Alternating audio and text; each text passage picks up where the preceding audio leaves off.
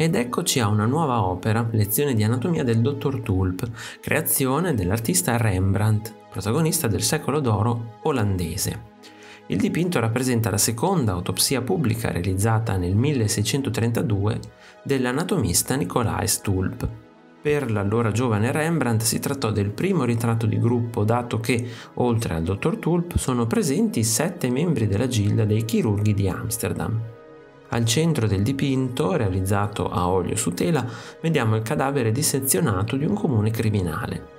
Quanto alla composizione, le teste di sei dei sette spettatori formano, partendo da sinistra, una freccia la cui punta termina con la mano destra del dottor Tulp, fulcro dell'azione del dipinto.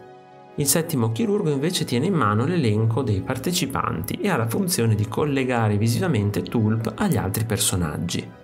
Rembrandt scelse di fissare il momento in cui il dottore disseziona l'avambraccio del cadavere per mostrarne la struttura muscolare.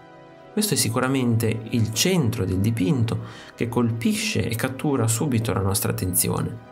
La resa anatomica del pittore però è imprecisa, perché è più interessato all'intensità psicologica dei personaggi. I volti ansiosi e indagatori dei sette spettatori sono straordinari per la loro diversità e animosità.